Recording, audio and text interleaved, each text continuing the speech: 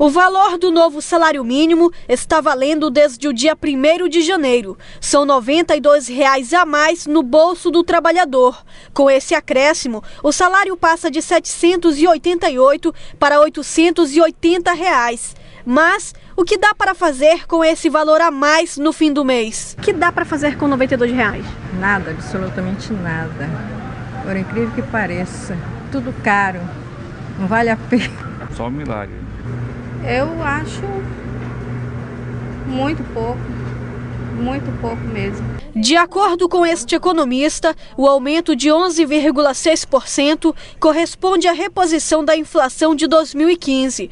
Com isso, o poder de compra da população permanece o mesmo. Então você que está recebendo esse aumento, você tem que ter muito cuidado, não se empolgar com esses 92 reais. Mas planejar os gastos pode fazer diferença. Uma das dicas é poupar. E com esses 92 reais que estão entrando a mais no seu salário, você fazer bom uso dele.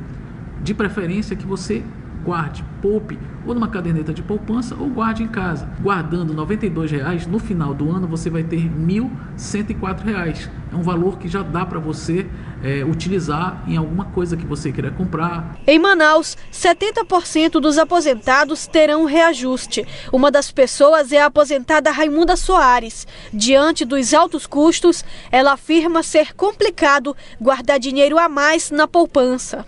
Para mim, não é bom, porque eu, pelo menos, compro muito remédio. Porque você sabe que o idoso compra muito remédio, né? Mas em outros cantos eu tenho ajuda dos do meus filhos muito, graças a Deus. Porque a inflação sobe mais, né?